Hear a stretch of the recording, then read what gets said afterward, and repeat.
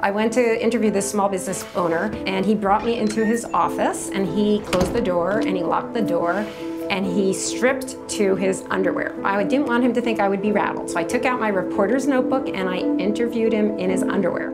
The customer who you wanted to end that dinner and say, I've got to go, because you didn't want to be propositioned. All those cycles that we could have been doing something else. This narrative of the powerful man making unwanted advances played out over and over again and very publicly, as dozens of women came forward accusing the Oscar winning producer Harvey Weinstein of sexual harassment. Ten days after the story broke, American actress Alyssa Milano posted what might be called the tweet that started the hashtag MeToo. In the US, the Me Too movement went on to spawn the launch of Time's Up, which as a campaign has amassed over $21 million in donations intended to support victims of workplace harassment. In the best of circumstances, victims feel emboldened to expose those in power who have abused it, while spurring more and more women to pick up the mantle and pursue public office. I'm going to fight and work on legislation that helps women come out of the shadows. With a judge who made a crack about my looks on my very first day in court.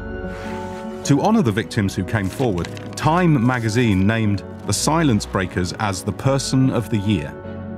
We started looking at this, and even before some of the most high profile cases, and it just was clear to us that this is where we needed to land.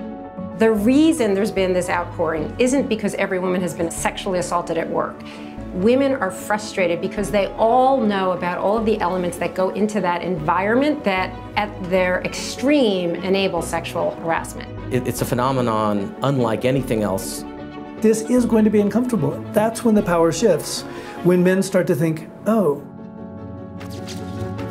The coverage around the movement from October 2017 onwards might suggest that the world of Hollywood, and media more generally, is especially dangerous for working women.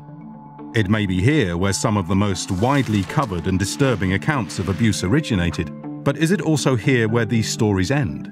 I do think that it does happen in the entertainment industry and in the television-centric piece of media. There's an issue in that we have male leaders for almost all of our major media outlets. I don't think we have any reason to think that there's any less of what we've seen in the media business on Wall Street, in restaurants and service companies and factory floors around the world. No reason to think it's, it's any different. We have recently carried out a three country survey the US, the UK, and Mexico on young men and their views about manhood and which men harass. So these are young men ages 18 to 30. About one in five to one in three young men had carried out some form of harassment online or real life in the last month.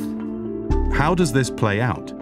Within the context of the workplace, Barker views sexual harassment as strongly reflective of the wider imbalance existing between male and female employees.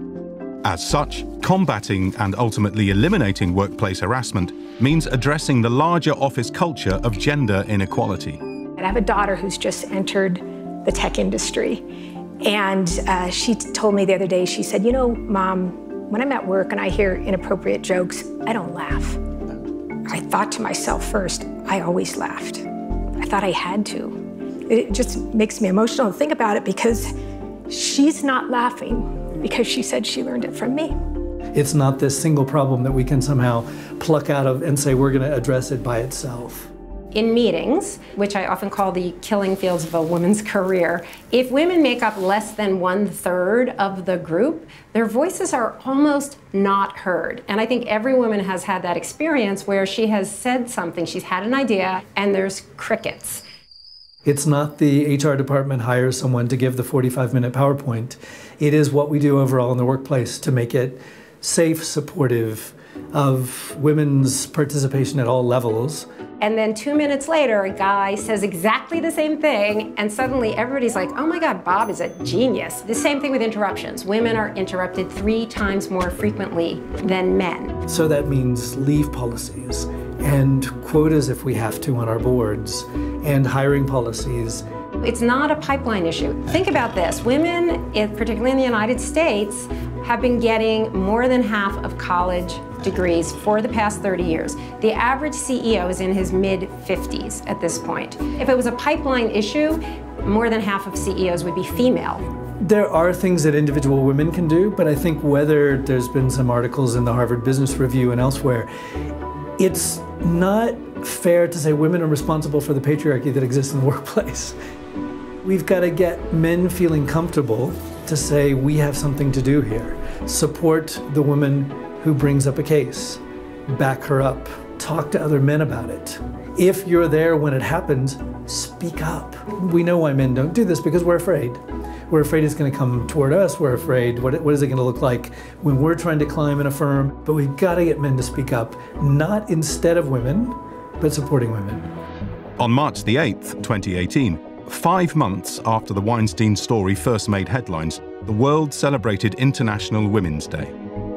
In Spain, some 5 million women went on strike. In Pakistan, citizens marched demanding for gender equality and an end to violence against women. Though there was certainly a heightened sense of fervour, from Afghanistan to the Philippines where women emboldened by Me Too and Time's Up took to the streets, the question remains, is this simply a moment or a movement?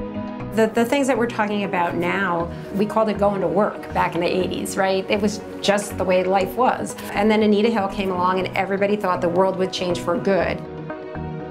There's work to be done still. We've had these moments before, right? So this one feels particularly big, and we have social media in ways that we didn't 20 years ago when, say, Anita Hill was calling Clarence Thomas out. Let this not just be this blip that we all reacted to. I think we're in the middle of the beginning of this change. The question to me is not whether it's a movement, it's how long the movement will last, how durable it is, how deep it will go. But I don't have any doubts that we have a long, long way to go. It is about calling individual men out. And I think a lot of the focus has been on that. So please keep making the lists and holding men accountable with due process. That needs to be said too. But let's acknowledge that it's going further upstream. It's about women's empowerment in general, not just sexual harassment. It's changing. It's changing slowly, but it's changing.